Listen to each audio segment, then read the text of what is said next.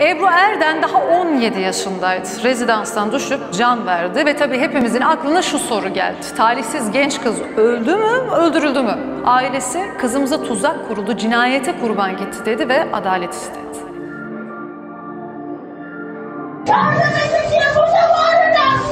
Bu video bir delil niteliğindedir ama sadece şey geldiği zaman ortalığa çıkacak bir videodur. Bir daha da görüşmeyeceğiz ve kendisinden söz aldım.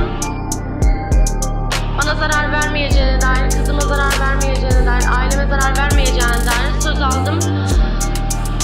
Saat 8.10 birazdan Gidip karakola ifademi geri alacağım.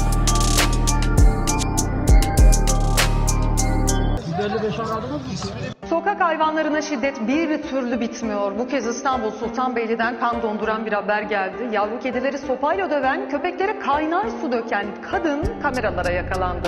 Birileri artık bu kadını durdursun diyen mahalleli de isyanda.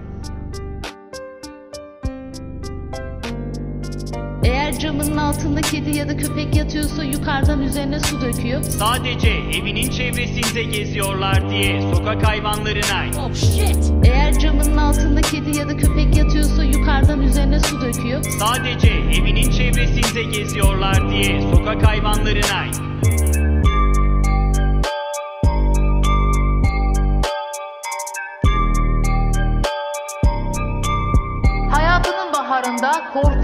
bir cinayete kurban gitmişti Pınar Gültekin. Otopsi raporu tamamlandı. O raporda kan donduran detaylar ortaya çıktı. Hani detay diyoruz ya, şeytan ayrıntıda gizlidir diyoruz. Burada gizli mizli değil. Şeytan bütün o detaylarda, ayrıntılarda kendini tamamen ortaya koyuyor. Dişleri kırılmış, boynuna altı kez halat dolanmış. Cenin pozisyonunda varile konulmuş Pınar. Şu hayvanın ya. İşleyerek patlar şu ayaklara bakın ya. Ya bu insanlık mı ya? Bu insanlık mı arkadaş? Allah rızası için ya. Kim bunu yapıyor? Kim bunu yapıyor? Biz bu canlar için neler yapıyoruz? Yazık günah değil bu hayvana ya?